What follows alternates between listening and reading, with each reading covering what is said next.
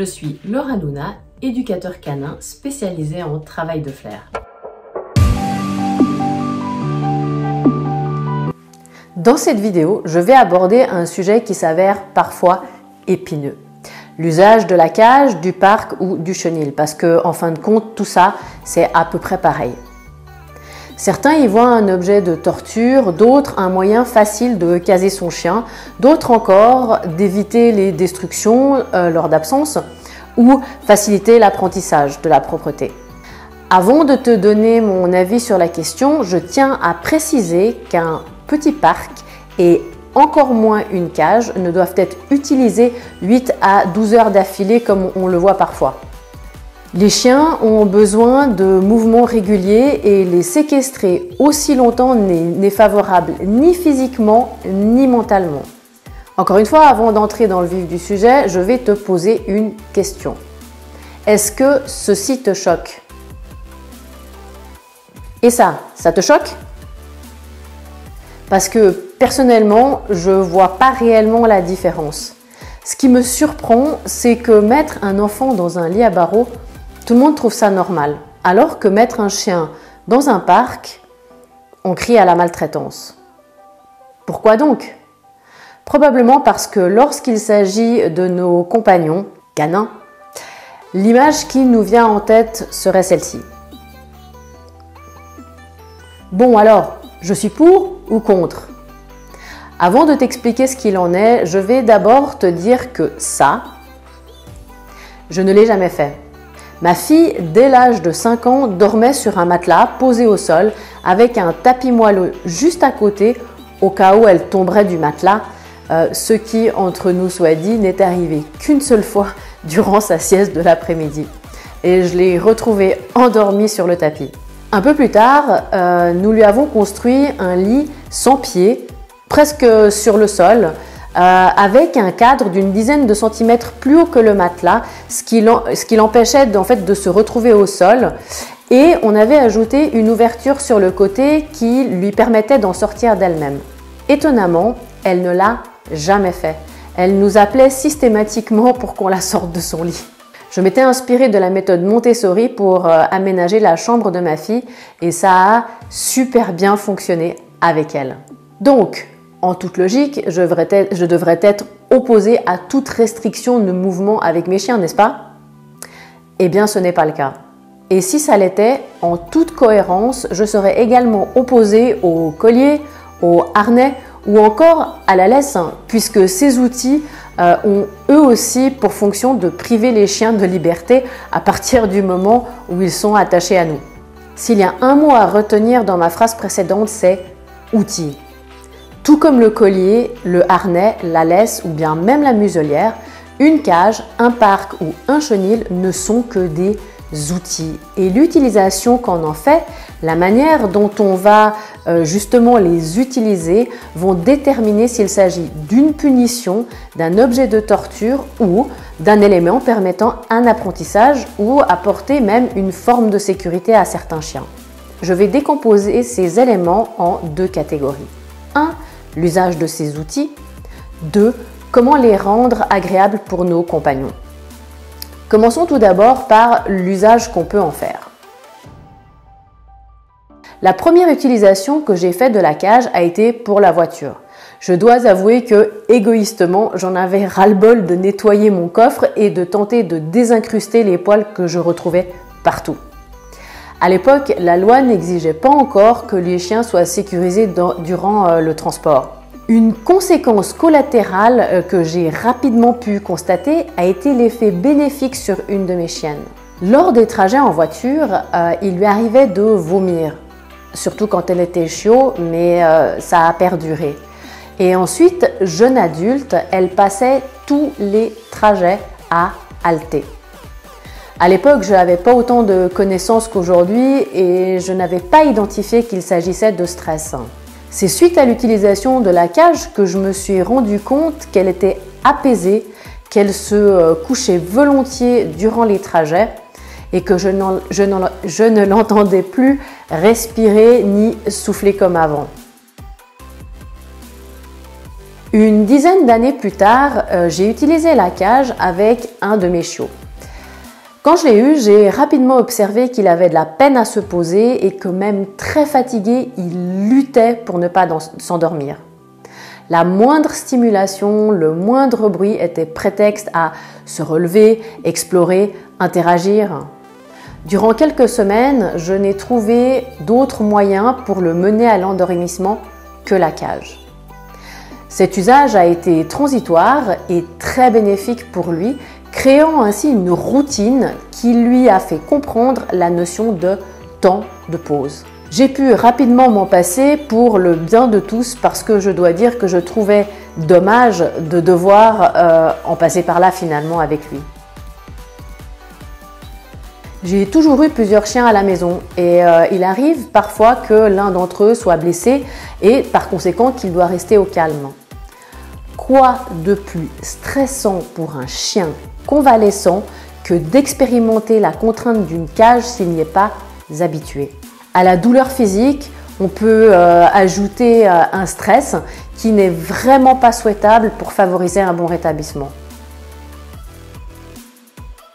Pour les repas, mes chiens sont au barf, ce qui implique que d'une part, ils mangent de la viande crue, et j'ai pas vraiment envie d'en retrouver partout, et que d'autre part, certains mangent plus rapidement que d'autres. Même s'ils euh, respectent la gamelle du voisin, je vois bien que pour certains, la proximité d'un congénère est vraiment une source de stress dans ce contexte. La cage leur procure la sérénité et la sécurité dont ils ont besoin durant leur repas. Certains de mes chiens mangent donc, donc en cage et d'autres libres.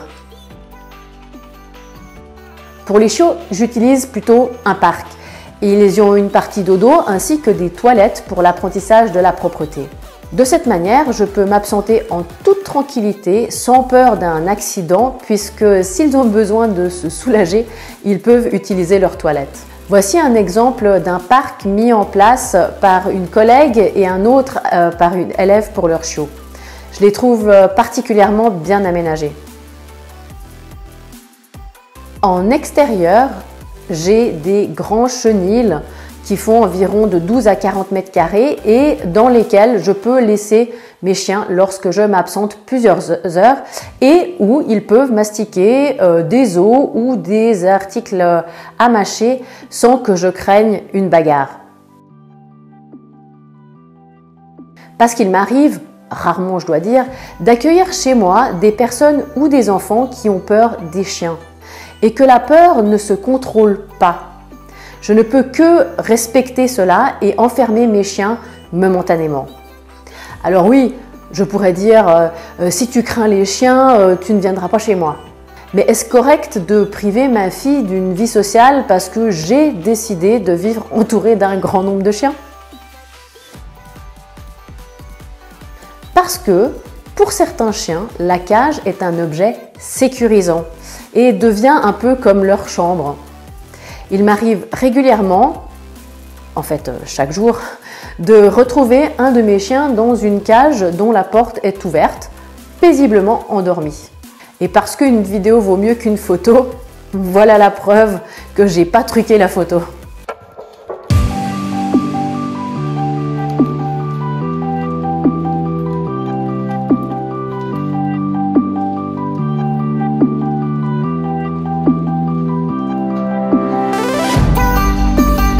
Comment rendre la cage, le parc ou le chenil agréable pour le chien? Tout simplement en l'utilisant de manière adaptée, procurant bien-être et plaisir au chien. Ces outils ne doivent jamais, jamais être punitifs ni créer un stress quelconque à nos compagnons. Le meilleur moyen pour qu'ils deviennent quelque chose de positif pour le chien est de les associer à un ou plusieurs éléments agréables. De cette manière, si un jour on doit utiliser euh, la cage ou euh, le parc de façon euh, restrictive, par exemple pour une blessure ou une convalescence, notre compagnon n'y verra pas un outil de torture. Le nombre de répétitions ainsi que là où les routines vont permettre cette association positive avec ces outils. Pour mes chiens, ils sont synonymes de quelque chose de bien va se passer. Je te montre un exemple avec Prana qui se rend d'elle-même en prison pour y attendre patiemment son repas.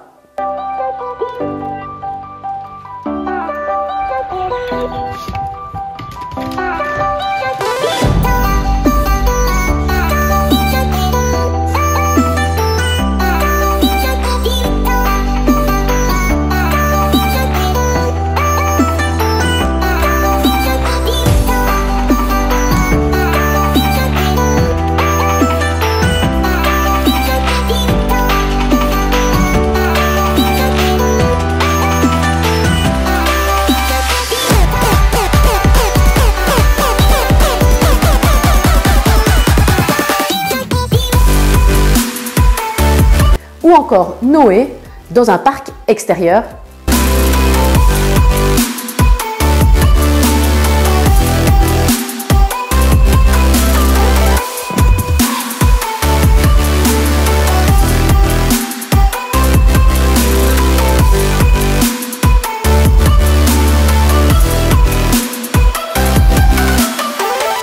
Et le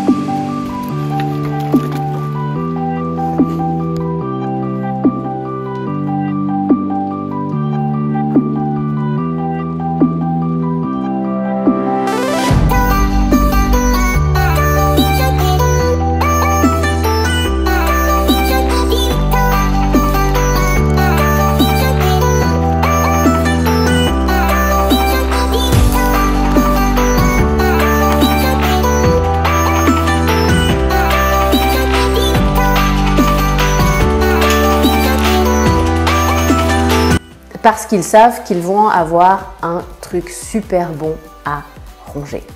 Pour conclure, je dirais que je n'aime pas particulièrement la cage, le parc ou le chenil, mais qu'il n'en reste pas moins des outils utiles dont je me sers.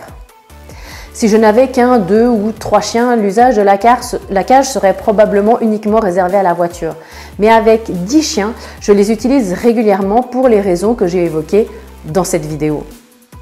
J'espère t'avoir éclairé sur l'utilisation euh, des différents outils et euh, que tu comprends mieux pourquoi et comment euh, on peut être amené à les employer en limitant bien entendu leur usage sur des périodes courtes et ou transitoires.